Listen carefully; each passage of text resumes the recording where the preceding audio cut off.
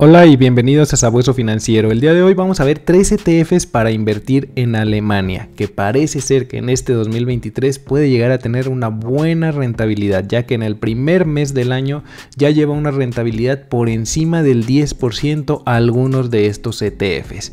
Imagínate si esto continuara en los siguientes meses, vaya, estaría muy buena la rentabilidad de estos ETFs. Pero bueno, no sabemos qué vaya a pasar y puede que sí sean una buena oportunidad de inversión en este país.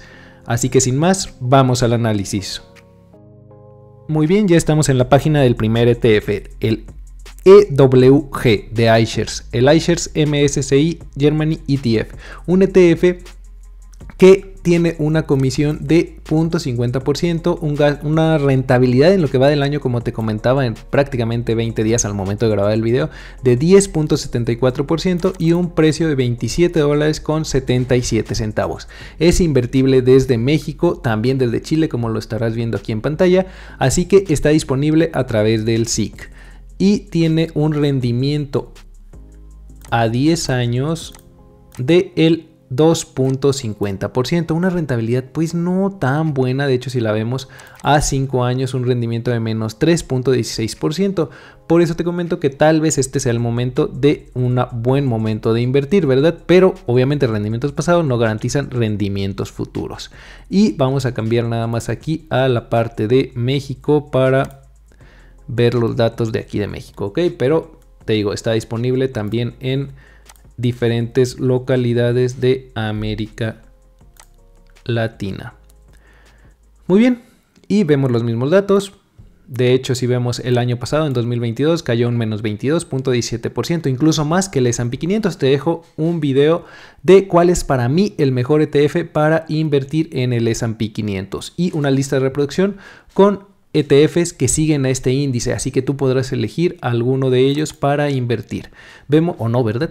Eh, tenemos un número de 59 posiciones dentro de este ETF, una calificación de AAA, quiere decir que las empresas que están dentro de este índice pues han dado unos, un, tienen unas características muy buenas en cuanto a ESG, así que lo están haciendo bien en ese sentido.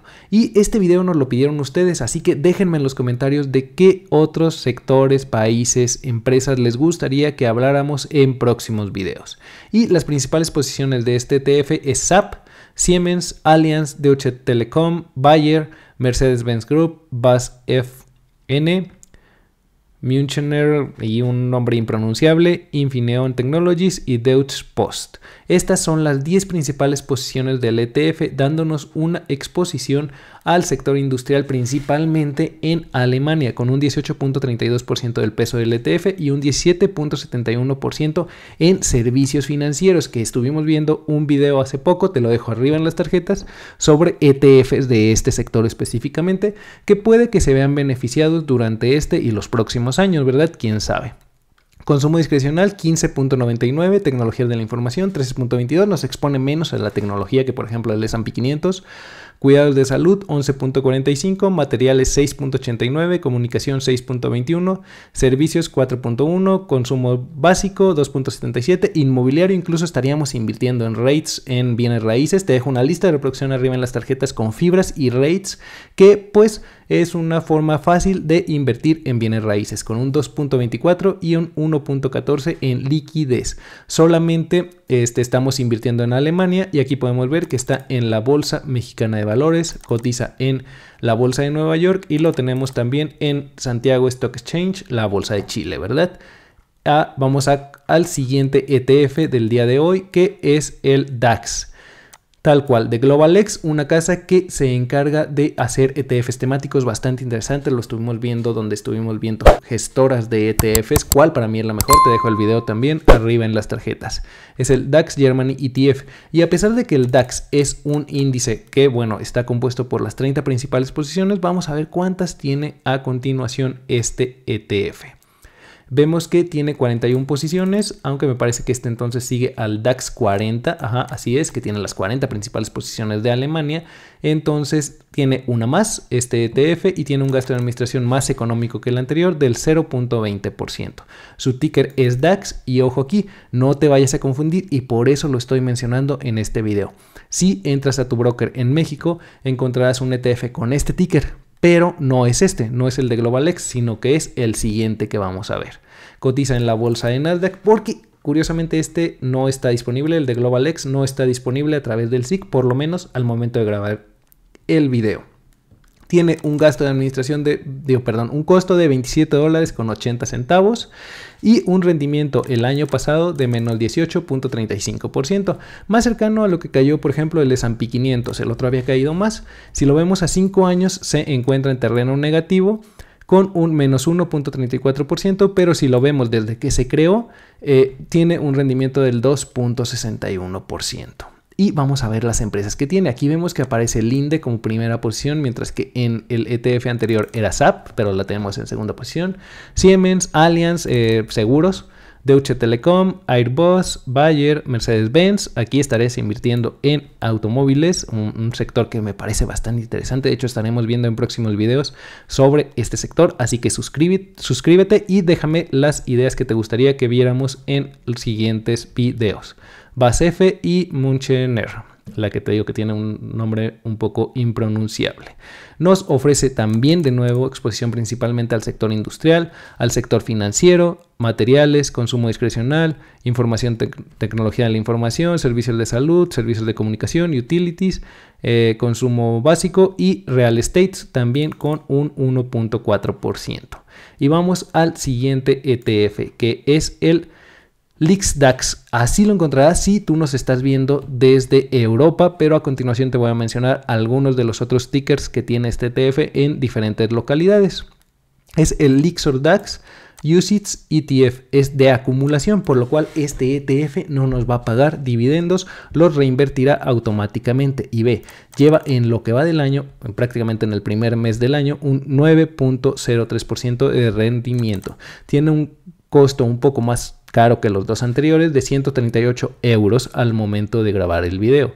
Unos gastos de administración más bajos que los dos ETFs anteriores del 0.15% y pues como dice aquí la política de dividendos es la capitalización por lo que se reinvierten automáticamente.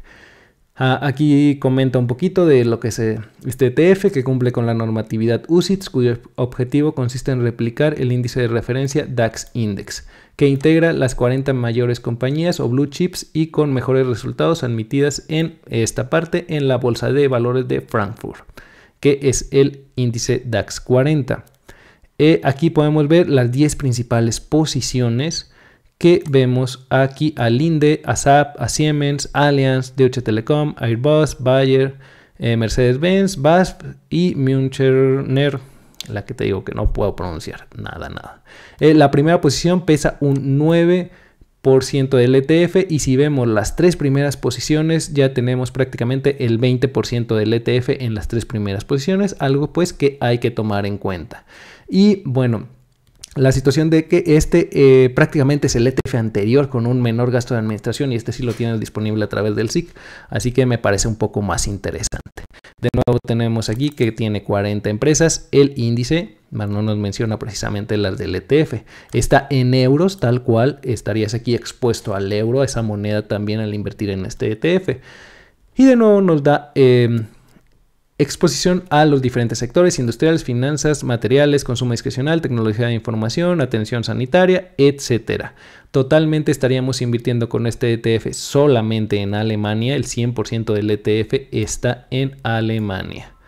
De nuevo ahora vemos la rentabilidad que a 5 años de, es de 11.28% y a 10 años ha tenido un rendimiento no promedio, obviamente este es el rendimiento que ha tenido, de 87.91. Si lo vemos a 3 años, 10.4%. Y ahora sí vamos a ver dónde está este ETF listado y sus diferentes tickers. Aquí podemos ver que está en Cetra, LixDAX, en la bolsa italiana, DAX con doble X, y si lo vemos aquí en la Bolsa Mexicana de Valores con DAX N. Eh, lo vas a encontrar también como DAX, a lo mejor en tu broker, entonces algo ahí a tomar en cuenta. Aquí podemos ver en los países donde está listado, lo encuentras en España, Italia, República Checa, Finlandia, Chile de nuevo también, eh, Polonia y te digo también está en México en la Bolsa Mexicana de Valores.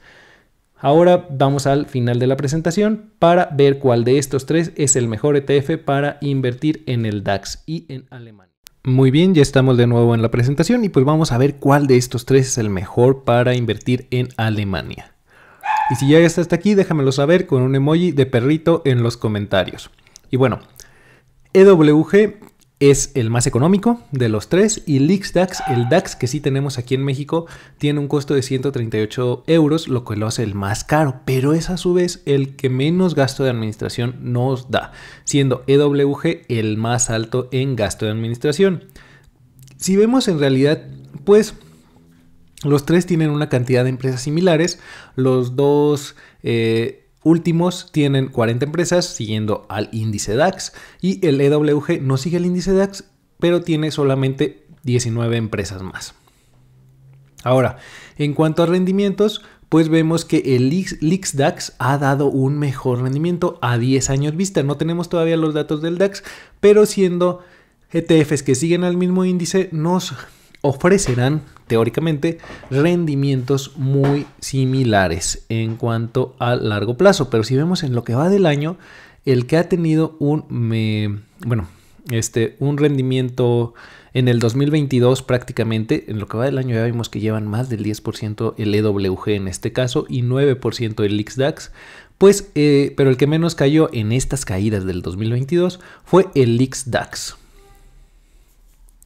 Y ahora, en cuanto a volatilidad, las del DAX no las tenemos disponible, pero esperamos que sean unas muy cercanas a las del el DAX de GlobalX. Y tenemos que la volatilidad fue de 20.35 para EWG y para el DAX de 20.10 dándonos así un ratio de Sharp del 0.11 y un ratio de Sharp para el DAX de el 0.15, dándonos así que desde mi punto de vista el mejor ETF para invertir en Alemania es el LixDAX, ya que es un ETF que nos ofrece una exposición al principal índice de Alemania y también nos está disponible en el SIC y tiene un gasto de administración menor de los tres. Ha dado buenos rendimientos a largo plazo y ya en el año lleva un 10% de rendimiento. En segundo lugar pondría el DAX, que aunque no lo tenemos disponible, me parece que pues es un ETF prácticamente igual al, primero, solamente con un gasto de administración un poco más caro y de otra casa comercial. Y el EWG,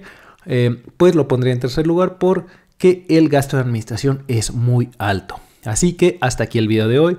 Recuerda suscribirte, activar la campanita de notificaciones, compartirlo con quien creas que le sea de utilidad y déjame en los comentarios qué otros ideas de videos te gustaría que estuviéramos viendo en el canal, qué tipos de ETFs, empresas, fintech, déjamelo saber abajo en los comentarios. Recuerda suscribirte y activar la campanita de notificaciones. Y recuerda que en la descripción de todos nuestros videos encontrarás contenido que te será de valor y utilidad para seguirte formando en el mundo de las inversiones y con el tiempo llegar a la libertad financiera. También encontrarás algunos códigos de referido que si los utilizas estarás apoyando al canal, lo cual te agradezco de antemano y tú recibirás algunas recompensas. Gracias y nos vemos en próximos videos.